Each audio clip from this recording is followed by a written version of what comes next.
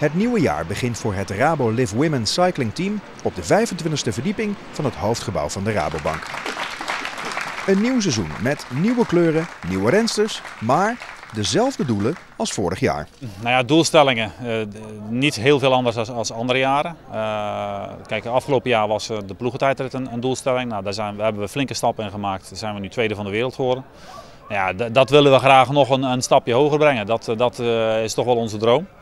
Uh, en daarnaast elke renster, en dat is natuurlijk een beetje een vaag begrip, maar elke renster toch een stapje hoger zien te brengen binnen haar uh, mogelijkheden. Toch ook ergens wel weer vertrouwd natuurlijk, hè? gewoon weer op het uh, Rabobank hoofdkantoor.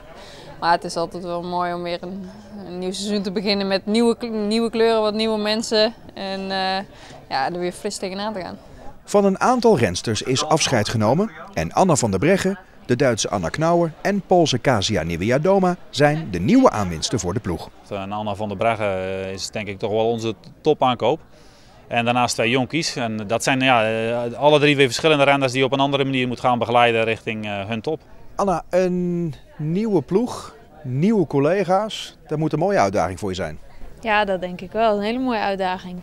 Tot nu toe een hele leuke, gezellige ploeg en uh, een hele mooie ploegpresentatie gehad net. Dus dat, uh, dat lijkt allemaal heel mooi. Jij bent echt een ronde renster. Heb je al een beetje een, een planning voor wat jij, wat jij wilt?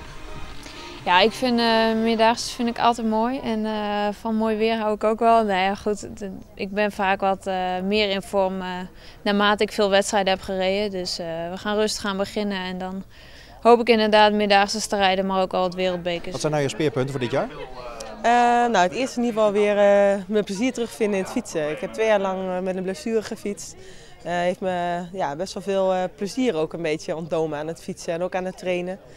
Dus dat is mijn eerste doel, weer even gewoon lekker gaan fietsen. Mag ik jou nog vragen naar je speerpunten voor dit jaar? Of zijn die gewoon het Nederlands kampioenschap, wereldkampioenschap en, en de grote rondes? Nou ja, dat is wel een hele goede, een goede samenvatting. Ja. Ik denk dat dit een ideale aftrap is voor uh, hopelijk weer een, een heel mooi seizoen. Waarin we natuurlijk Marianne weer willen gaan, gaan brengen. Maar zeker ook de rensters die daar, die daar al heel dicht achteraan komen.